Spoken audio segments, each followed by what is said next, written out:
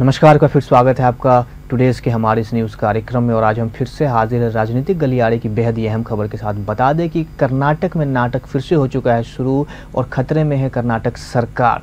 CM Kumar स्वामी ने खुद कहा है कि वो त्यागपत्र यानी कि इस्तीफा देने को तैयार हैं। जी हाँ आज की सबसे बड़ी खबर में से एक खबर है। ये कर्नाटक में सियासी संकट लगातार बढ़ता जा रहा है और अब कांग्रेस विधायक के बयान के बाद से यहाँ की राजनीति भी गर्मा गई है। बात इतनी बढ़ गई है कि मुख्यमंत्री एच डी कुमार स्वामी कुर्सी छोड़ने तक को तैयार हो गए हैं। कांग्रेस विधायक के बयान पर मुख्यमंत्री कुमार स्वामी का कहना है कि कांग्रेस नेताओं को इन सभी मुद्दों को देखना होगा और मुझे इससे कोई मतलब नहीं है। अगर वो सिद्धारमैया को मुख्यमंत्री बनाना चाहते हैं तो मैं पद छोड़ने के लिए तैयार हूँ। वो सीमा पार कर रहे हैं और कांग्रेस नेताओं को, अपने विधायकों को नियंत्रित करना चाहिए। बता दें कि कांग्रेस विधायकों ने सिद्धारमैया को अपना नेता बताया था और उसके बाद से कुमार स्वामी असहज महसूस करते दिखाई दे रहे हैं। वहीं उप मुख्यमंत्री जी परमेश्वर ने कहा है कि सिद्धारमैया सर्वश्रेष्ठ मुख्यमंत्री रहे हैं। वह हमारे विधायक दल के नेता हैं और विधायकों के लिए वही मुख्यमंत्री है।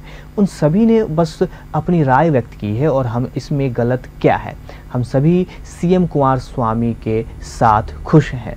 इसी बीच एक और भी बयान आया था, जिसमें कांग्रेस विधायक ने कुछ अजीब गरीब स्टेटमेंट दिया था। बता दें कि जब सियासी संकट के बीच ये आरोप लगाए गए कि संकट के लिए पार्टी के नेता सिद्धारमैया जिम्मेदार हैं, इसी बीच पूर्व मुख्यमंत्री के समर्थकों ने रविवार को कुमार स्वामी के नेतृत्व वाली सरकार की आलोचना भी की थी।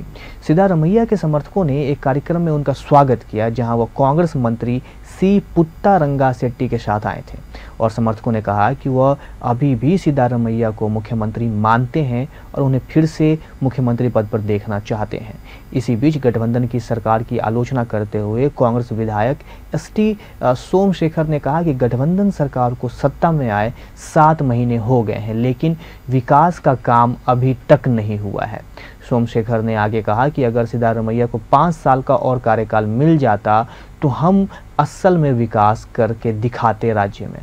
तो एक बार फिर से राजनीति बहुत ही गर्म मोड़ पे दिखाई दे रही है कर्नाटका में, जहाँ पे जेडीएस और कांग्रेस की जो मिलीजुली सरकार है, वो आपस में उनके कई मतभेद चल रहे हैं, ये बार बार देखने को मिलता आ रहा है। इस मामले पर कर्नाटक के डिप्टी सीएम ने कांग्रेस विधायक के बयान का समर्थन किया था और उनका कहना है कि सिद्धारमैया एक अच्छे सीएम रहे हैं। विधायकों के लिए वह वही सीएम है और उन्होंने अपनी राय व्यक्त की है। इसमें गलत नहीं है और वो सब कर्नाटक में कुमार स्वामी को कार्य करते हुए देखना चाहते हैं। ठीक इसके बाद जो एक नई रिपोर्ट आ रही है, उसमें बता दें, बताया गया है कि सिद्धारमैया ने भी किया है समर्थन।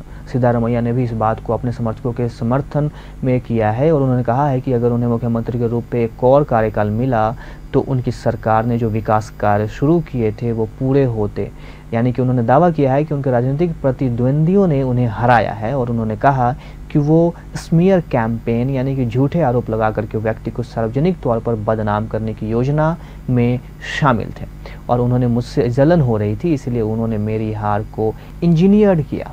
तो एक बार फिर से कर्नाटक में नाटक होता हुआ दिख रहा है, राजनीति इधर से उधर होता हुआ दिख रहा है और इसी बीच भाजपा लंबे समय से आँख गराए बैठी है कि कब उनके हाथ में सत्ता आ जाए। बता दें कि पूर्व मुख्यमंत्री की सराहना करते हुए समाज कल्याण मंत्री सी पुत्ता रंगा शेट्टी ने कहा है कि आप कुछ भी कहें ले केवल सिद्धारमैया मेरे मुख्यमंत्री है और उसके बाद ही राजनीतिक गर्माती हुई दिख रही है। तो ये थी कर्नाटक राज्य से जुड़ी भी एक बेहद ही अहम खबर। हम कल फिर हाजिर होंगे कुछ नए न्यूज़ के साथ। देखते रहे हमारा न्यूज़ चैनल और अगर आपको लगता है कि कर्नाटक में जो राजनीति जो हलचल हो रही है, जो उथल पुथल हो रही है, उसके लिए कौन जिम्मेदार है और क्या ऐसी चीज़ें अगर होती रहीं तो इससे क्या राज्य में विकास हो पाएगा? या फिर सरकार को या केंद्र में बैठी सत्ता पार्टी को कोई निर्णय लेने की ज़रूरत है? आप ज़रूर विचार साझा करें हमारे साथ। हम फिर से हाजिर होंगे। देखते हैं हमारा न्यूज़ कार्यक्रम।